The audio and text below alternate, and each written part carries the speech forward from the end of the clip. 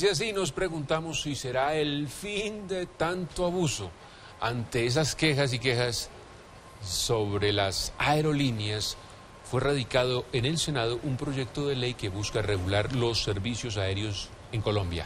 ¿Qué propone ese proyecto de ley, don José? Bueno, Jonathan, la iniciativa contempla regular, garantizar los derechos de los usuarios del transporte aéreo a través de la implementación de medidas que permitan el libre ejercicio de los derechos y así tener un servicio con altos estándares de calidad.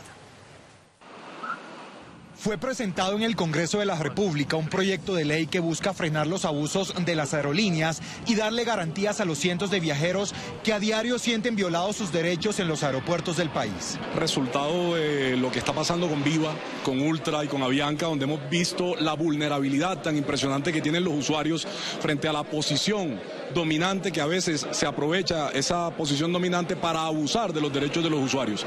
Entre las medidas que propone la iniciativa se encuentra la fijación de precios mínimos y máximos a tiquetes, la prohibición de sobreventa que ha afectado el itinerario y compromisos de los viajeros, la posibilidad de solicitar por única vez la corrección de errores sin costo, así como la ampliación del tiempo para cancelar tiquetes y cambiar la hora de los vuelos sin multa. Algunas aerolíneas aprovechando también la posición que tienen de fortaleza y de dominio frente a otras, bajan en algunas ocasiones de manera excesiva las tarifas, obligando a sus competidores a trabajar a pérdida. Pero, ¿qué opinan los viajeros?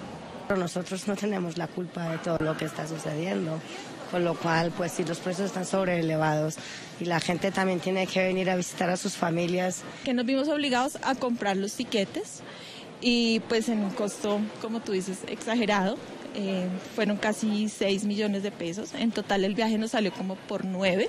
También establece la obligación de las aerolíneas de brindar información completa y transparente sobre los vuelos, las condiciones y compensaciones aplicables, las tarifas y el precio total.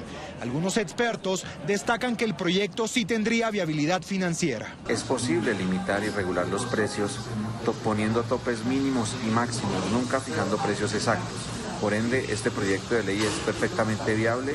Ahí lo importante es establecer algunos acuerdos con las compañías, los cuales permita hacer para el tema de costos adecuadamente correcto.